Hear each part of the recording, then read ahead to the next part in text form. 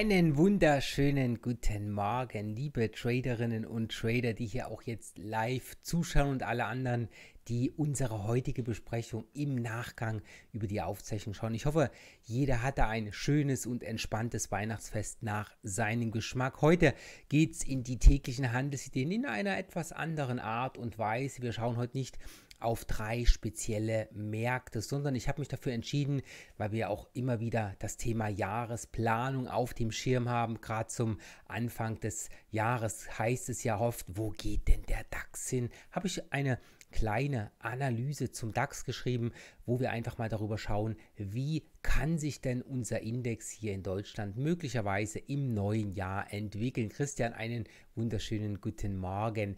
Wie kann er sich entwickeln? Was kann auf uns warten? Das Ganze hier heute an dieser Stelle. Ähnliches werde ich morgen noch mit einem zweiten Index machen. Muss ich mal schauen, welchen ich nehme. Interessante Werte gibt es ja immer wieder hier an dieser Stelle zu betrachten oder auch den Ölmarkt. Wer mag, kann mir hier gerne auch einen Vorschlag in die entsprechenden Foren schreiben. Dann kann ich mir das Ganze gerne auch einmal mal mit auf die Uhr nehmen. Aber heute geht es hier in die große Analyse vom DAX hinein. Wir schauen vorab natürlich wie immer in den Risikohinweis. Der Handel mit Devisen und CFDs auf Margin kann zu Verlusten führen. Das heißt an dieser Stelle bitte das Ganze hier äh, nicht als Finanzberatung sehen, sondern anschließend einfach als Veranschaulichung und Weiterbildung nutzen. Diese ganzen Dinge, die wir hier miteinander auch besprechen. Ja, Weihnachten ist vorüber. Ein paar Nachrichten gibt es dieses Jahr auch. Eine wichtige Nachricht habe ich vorhin auch direkt noch gelesen.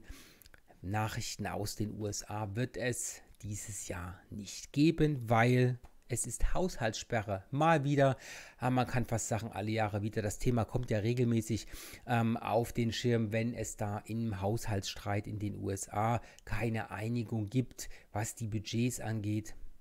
Da haben wir es stehen, keine US-Wirtschaftsdaten während der Haushaltssperre.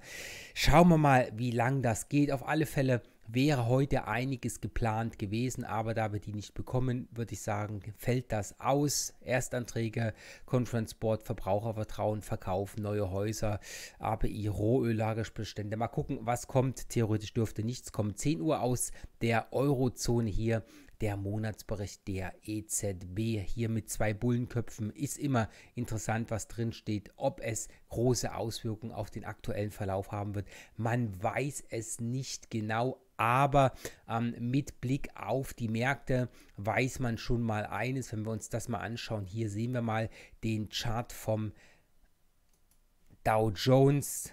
Hier war Schluss am äh, Vorheiligabend. Hier macht der Markt heute auf ich muss sagen, da ist schon ein richtiger Rutsch nach oben gekommen. Woran liegt es? Es gab ein paar, hm, wie soll man das jetzt sagen? Ich sag mal so, ähm, Trump hat ja ein bisschen getwittert, es ging ein bisschen um den Paul, jetzt heißt es, Paul bleibt, wo er ist, er macht seinen Job gut. Ähm, also von der Seite her, es ist wieder mal ein bisschen hin und her. Ähm, es ist getrieben durch gute Nachrichten dieses große Gap entstanden. Interessant und wichtig ist natürlich, was jetzt kommt. Was macht der Markt aus diesem Muster? Man muss auch sagen, die Umsätze sind sehr, sehr, sehr dünn. Ja, wir haben sozusagen jetzt zwischen den Feiertagen, zwischen Weihnachten und Neujahr, da sind viele Händler entsprechend im Urlaub. Da ist nicht so viel, was wir hier an diesen Stellen marktbewegendes haben. Von der Seite her ist es interessant, was wir sehen ohne Probleme. Man sieht es ja hier, der letzte Lauf war ziemlich tief. Es kann auch ohne Probleme hier noch ein Stück weit nach oben mitgehen. Kann, muss aber nicht sein von der Seite her. Spannend, wenn der Markt gleich wieder abverkauft. Wenn es ein bisschen höher geht, kann man es auch annehmen. Wichtig ist halt eins, die Zeiteinheiten müssen mitspielen und wir stehen jetzt hier oben. Ja, man sieht es wie angenagelt hier bei der knapp 22.900 Punkte Marke hier oben, also 800, 900 Punkte in diesem Bereich. Das sehen wir hier im US und das kann man auch ähm, ganz genau auf den anderen Indizes schauen, wenn wir uns das ganze Bild mal ansehen hier kann man beim S&P das gleiche Bild sehen. Man sieht das gleiche Bild auch beim technologielastigen Index. Hier, zack, bam, riesen Gap nach oben gerissen. Und im DAX sieht das Ganze ähm, ja nicht ganz so stark aus. Sie haben auch ein kleines Gap, aber bei weitem nicht in dem Ausmaß, wie wir es hier an dieser Stelle in den US-Märkten dann auch haben. Ähm, das also hier mal zur kleinen Schau ähm, in die Indizes rein. Gucken wir nochmal auf den wichtigsten Markt hier, den Euro da sehen wir auch ein relatives Verhalten. Also das ist jetzt nicht so massiv, wie wir das in den USA sehen, was wir dort an Sprüngen haben, sondern hier läuft alles in relativ ruhigen Bahnen ab. Man merkt, es ist halt die Weihnachtszeit bzw. die Zeit um den Jahreswechsel, wo entsprechend auch viele Händler fehlen, um hier nachhaltig für ja, sage ich mal, Kursbewegungen zu sorgen. Es können auch weniger Händler für nachhaltige Kursbewegungen sorgen, aber wie lange das dann bleibt, wenn die Händler dann wieder an Bord sind, das wird sich dann zeigen, das müssen wir abwarten. Aber wir können ja in Ruhe planen. Da geht es übrigens morgen auch im edukativen Part darum. Ähm, ich habe auf der World of Trading einen Vortrag gehalten, wie man denn so eine Jahresplanung auch anstellen kann oder generell eine Planung in verschiedenen Charts, in verschiedenen Instrumenten. Das werde ich dann morgen auch hier an dieser Stelle für all diejenigen, die nicht auf der World of Trading sein konnten, noch einmal live wiederholen, was da wichtige Stellschrauben sind, worauf man hier unbedingt bei so einer Jahresplanung achten sollte. Ich würde sagen, wir gehen dann mal äh, direkt in die großen Bilder des DAX hinein. Ich habe es ja geschrieben, wir machen eine richtig schöne große Analyse hier des deutschen Aktienindex einmal ähm, und die habe ich hier auf Wochenbasis entsprechend auch mal gestartet. Ähm, das heißt also hier in diesem Falle gehen wir einfach mal dort hinein, wo das große Bild anfängt und da sehen wir halt einen Markt, der, wie soll ich sagen, wenn man es noch etwas enger zusammendrückt, na, das war ein bisschen viel hier an dieser Stelle. Also, auch wenn das jetzt für den einen oder anderen sich ein bisschen komisch anhört oder komisch anfühlt, das ist jetzt ein sehr, sehr, sehr langes Bild, was ich hier über die ganze Schablone gelegt habe. Hier schauen wir mal diesen großen, großen, großen Trend, den ich hier grün eingezeichnet habe. Wohlgemerkt, das ist jetzt auf Wochenbasis. Ja? Das heißt, wir sprechen hier wirklich auf einer langen, langen Zeitebene in einer sehr, sehr großen Zeiteinheit. Also das ist nichts, wo jetzt ein kleiner, kurzfristiger Trader äh, sozusagen, also jemand, der in den kleinen Zeiteinheiten ähm, sich bewegt, der wird sich so einen Chart wahrscheinlich gar nicht allzu oft angucken. Aber ähm, ich mache das Ganze trotzdem immer mal ganz gern, einfach um zu sehen, wo sind wir denn gerade verordnet. Ne? Weil die Order, die am Ende ins Orderbuch geht, hat ja nichts mit dem Zeitrahmen zu tun, sondern die steht einfach wegen einem Kauf oder einem Verkaufwunsch dort drinnen ähm, und welche Intention der Käufer oder Verkäufer ähm, entsprechend hat, das bleibt hier natürlich immer dem einzelnen handelnden Akteur zugrunde liegen. Wir schauen hier mal ins große Bild und im großen Bild sehen wir weiterhin hier dieses große Grüne, was ich angezeichnet habe, einen intakten Aufwärtstrend, der läuft also schön nach oben. Was ich hier noch eingezeichnet habe, ist hier dieser grüne, äh, dieser blau markierte Aufwärtstrend, der hier logischerweise den Bewegungsarm dargestellt hat und das, was wir hier momentan sehen, ist einfach die Korrektur dieses weit gelaufenen Trends, dieses Bewegungsarmes. Und der muss jetzt korrigiert werden. Und die Korrektur, sieht man hier, ist auch schon ein ganz schönes Stück weit fortgeschritten, ist mittlerweile hier auch in einem Bereich angekommen, hier zwischen 10.500 und 10.300 Punkten, dieses, dieses Spannungsband hier, da haben wir hier drüben die Aufwärtstrendentstehung gehabt, das war in 2016, hier sieht man das, da ging der Markt drüber, dann pendelte er eine Weile hier drinnen rum, immer wieder rein in diesen Bereich, dann wieder oben drüber und dann gab es diesen starken Schub hier entsprechend auch mit nach oben gelaufen und das sind interessante Punkte, das sind interessante Marken, wo wir einfach sehen, da ist ein Spannungsbereich und da kann es durchaus auch zu einer Umkehr kommen. Ich sage mal mit Absicht auch, es kann durchaus zu einer Umkehr kommen. Wir sehen, wir sind hier tief korrigiert, wir stehen hier, naja, bei einer Korrekturtiefe, muss man mal sagen, ich schätze mal bei ja, 60, 70 Prozent irgendwo sind wir reingelaufen. Ich habe es jetzt nicht nachgerechnet. Ich habe einfach mal hier entsprechend den ähm, von mir ange angelegten Fibonacci reingelegt. Das heißt, ich gucke hier nicht äh, mit diesem Werkzeug, was wir hier oben drinnen haben, hier dieses Fibonacci Retracement Tool. Ich schaue da nicht auf die eigenen einzelnen Fibonacci Längen, sondern ich habe mir das so eingekreuzt, dass ich oder eingeschrieben, dass ich hier die Korrekturtiefen sehen kann. Das heißt, für mich sind hier aus trendtechnischer Sicht Marken um 50 und 75 ähm, Prozent halt wichtig. Deswegen habe ich das Tool für mich an meine eigenen Bedürfnisse so angepasst. Und hier sehen wir halt gerade, wir sind weit reingelaufen in die Korrektur. Der ein oder andere Händler geht ja auch so vor, dass er blind in einen Markt einsteckt ab einer bestimmten Korrekturtiefe, weil weil er sich sagt, okay, ähm, ich möchte hier entsprechend ähm, die Wiederaufnahme handeln ohne irgendein Umkehrsignal. Da kann man solche Ansätze ganz gut nehmen. Wir schauen einfach mal in ein anderes ähm, Marktumfeld hier hinein. Manuel Georg, schönen guten Morgen. Freut mich hier noch ein paar weitere Gesichter live auch zu sehen.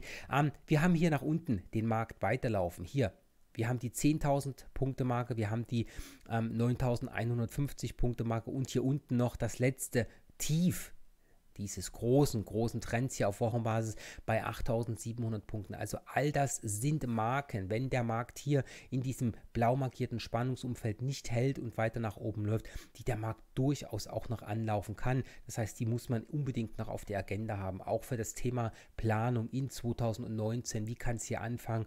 Wie kann es hier weitergehen? Das große Bild zeigt uns hier schon noch ein paar Stellen, wo der Markt hinkorrigieren kann, ohne dass er jetzt komplett nach unten entsprechend auch wegbricht. Also das, was wir jetzt hier sehen, ist einiges hier, was nach unten gelaufen ist. Wenn wir uns jetzt mal diesen, äh, diesen rot markierten Pfad hier anschauen, dann sieht man halt, dass dieser Abwärtstrend Nummer 1 erst einmal logischerweise diesen Bewegungstrend gebrochen hat. Das ist ja leicht ersichtlich. Aber Nummer zwei sieht man auch, dass dieser, ähm, dieser, dieser, dieser Trend sehr, sehr, sehr weit in seiner Bewegung steht. Das heißt hier ähm, gut und gerne ähm, sozusagen den Markt in weiter Bewegung hat und da kann es auch in solchen Abwärtstrendphasen immer mal wieder dazu kommen, dass wir auch deutlich nach oben korrigieren. Ja, das ist ein, ein ganz normales Geschehen. Auch in Bärenmarken gibt es manchmal ähm, Bullenphasen, die etwas länger anhalten. Das muss man einfach sehen, das muss man ähm, wissen und da sind häufig auch solche markanten Bereiche, wie wir sie jetzt hier haben, zwischen 10.500 und 10.300 Punkten ähm, sozusagen hier ausschlaggebend für solche Rallyes innerhalb eines Bärenmarktes, die dann entsprechend nach oben laufen. Interessante Punkte, da kann man halt drauf achten und wenn man dort entsprechende Signale bekommt, kann man hier entsprechend auch damit arbeiten. Das heißt, wir gehen jetzt hier mal weg vom Wochenchart und gehen mal rein in den Tageschart, weil man sieht ja auch sehr, sehr schön, dass man hier die Bewegung hat und den Trend dieser Bewegung, das ist das, was ich hier lila entsprechend markiert habe, das ist das, was wir auch im Tag sehen. Und deswegen schalte ich jetzt einfach mal um in den Tageschart hinein und da blicken wir uns jetzt mal die letzte Bewegung hier dieses Trends an. Das heißt, wir haben ja hier diesen Abwärtstrend auf der Woche gerade gesehen. Erster Bewegungsarm, Korrektur, zweiter Bewegungsarm. Hier ist der Trend entstanden. Trendbruch war natürlich schon deutlich früher. Der ist hier oben geschehen. Also hier sozusagen jetzt mal der Schub nach unten. Und das, was wir hier sehen, ist dieser abwärts laufende Trend. Man sieht ihn auch noch in untergeordneten Trendgrößen. Also hier fließt wirklich viel zusammen. Da muss man häufig nicht einmal die entsprechenden Märkte so im Detail klären, dass man hier noch in die Stunde reinschaut. Die wichtigen Sachen sieht man hier wirklich sehr, sehr, sehr schön im Tageschart drin liegen. Und da sehen wir hier mit Blick auf diesen Trendverlauf, den wir hier entsprechend untergeordnet auch haben, dass der aktuelle Markt hier natürlich auch ordentlich weit in Bewegung steht. Hier unten auf der 10.584 Punkte Marke haben wir gedreht erst einmal und laufen so ein kleines Stückchen nach oben. Hier muss man dann natürlich sehen, ob das Ganze nachhaltig ist. Wenn wir jetzt etwas in die Zukunft blicken und sagen, okay, es könnte unter Umständen jetzt doch einmal zu einer Korrektur kommen, dieses weit gelaufenen Trends auf der Woche, da würden wir dann natürlich Folgendes sehen. Das mache ich ganz, ganz kurz mal etwas größer hier an dieser Stelle. Da würden wir Folgendes sehen, dass wir hier haben wir ja beispielsweise diesen untergeordneten Trendverlauf. Das heißt, hier liegt noch eine Trendgröße drunter. Ich zeichne das mal eben ganz kurz ein. Ich hoffe, äh, muss ich, ich nehme mal kurz eine andere Farbe, dass wir das besser sehen können. So, was nehme ich für eine Farbe? Ich nehme hier einfach mal eine rote Farbe. Das sollte entsprechend zu sehen sein. Also hier haben wir untergeordnet einen Markt, der auch trendförmig verläuft. Dadurch sehen wir, dass zwei Trends in die gleiche Richtung laufen. Das ist immer sehr interessant zu sehen. So, hier hat man noch eine Bewegung, dann gab es noch eine kleine Korrektur hier nach oben und dann hat es der Markt wieder nach unten fortgesetzt. So. Und das, all das, was wir momentan sehen, Also selbst wenn die Kurse jetzt hier nachhaltig ein Stück weit nach oben ansteigen, mit nachhaltig meine ich jetzt, dass wir hier diese Kerze, die wir hier gerade sehen am Ende, dass die grün wird, beziehungsweise hier in diesem Fall, weil es ja ein Schwarz-Weiß-Chart ist, dass die weiß wird und sich nach oben zieht, dann haben wir hier als Anlaufpunkte im kurzfristigen Bereich natürlich erst einmal ein paar Tageshochs liegen. Das heißt hier, oh, so dick wollen wir das gar nicht haben.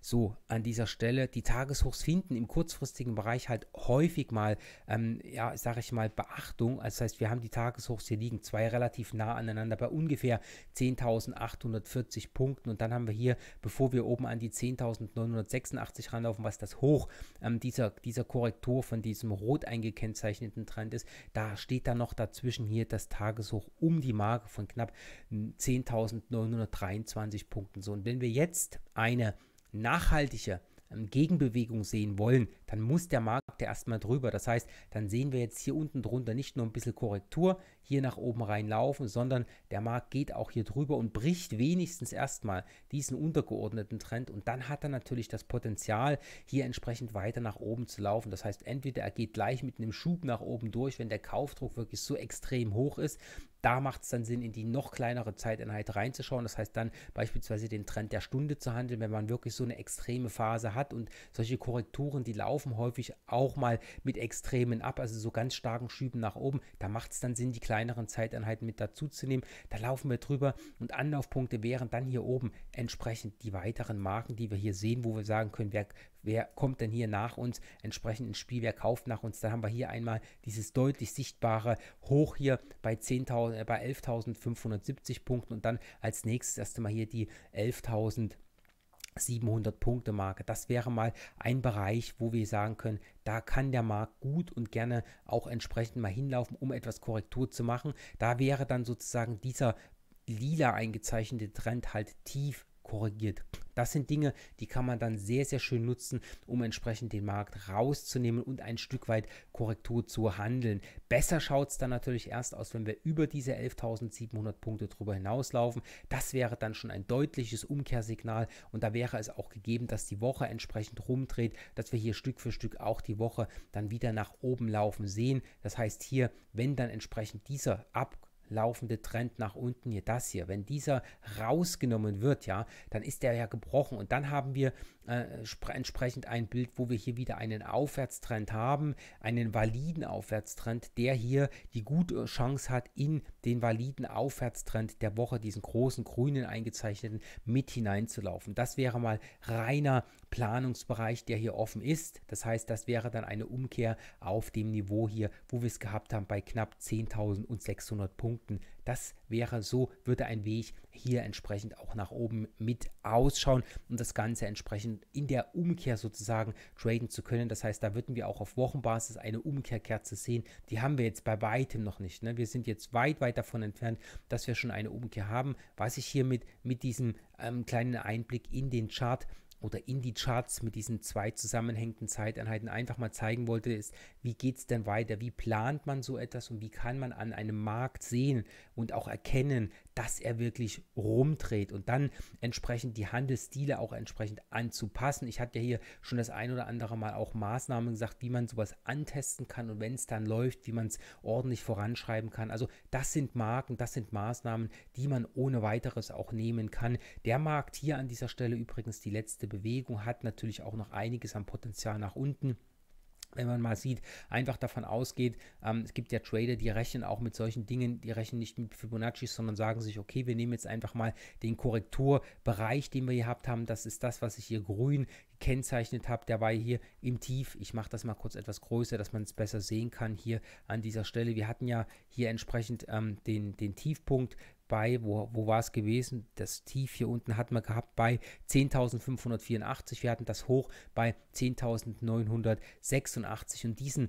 Tiefkorrekturbereich setzt man häufig unten dran, um das Potenzial zu sehen, was so eine rein rechnerische Bewegung auch hat. Da ist noch einiges am Platz nach unten. Und wenn wir jetzt schon vorher hier rumdrehen, wäre das natürlich ein Zeichen von temporärer Stärke und da könnten wir dann davon ausgehen, dass der Markt auch etwas höher korrigieren kann. Wie schon gesagt, hier muss man dann schauen, wie das Ganze innen ineinander spielt.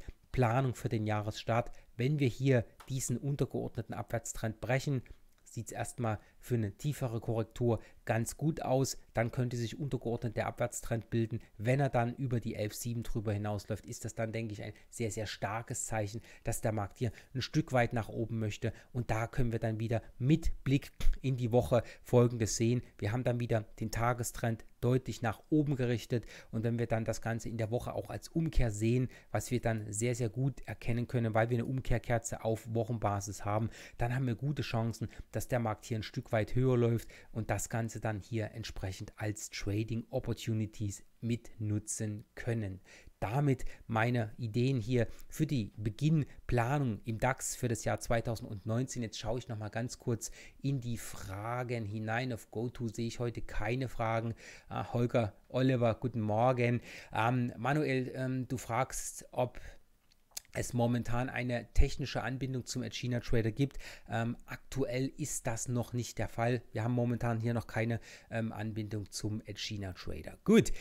Damit ganz, ganz herzlichen Dank für die Zuschauer, die das Ganze sich hier anschauen, für die Live-Zuschauerinnen und Zuschauer, natürlich auch für alle, die das Ganze im Nachgang schauen. Morgen gibt es noch eine weitere Analyse und morgen schauen wir im edukativen Part natürlich auch einmal auf das Thema, ähm, wie stellt man denn so eine Jahresplanung an, wie geht man da am besten vor, wie macht man es nicht, das zeige ich natürlich auch. Ähm, und dann ähm, schauen wir morgen natürlich wieder ähm, auf die Wochenvorschau für die kommende Woche. Und dann schauen wir uns nochmal die Indizes in Gänze an, beziehungsweise auch die ein oder andere Währung, einfach um mal zu schauen, was denn hier jetzt in den letzten Tagen und Wochen bei den ein oder anderen Charts gewesen ist, um hier ein neues, interessantes Bild zu bekommen. An dieser Stelle einen ganz, ganz herzlichen Dank, einen entspannten Donnerstag für alle, die frei haben und für alle, die arbeiten gehen möchten oder müssen, einen ja guten ja, Donnerstag und wir sehen uns dann morgen wieder. Bis dahin, alles Gute, ihr Max Seidel.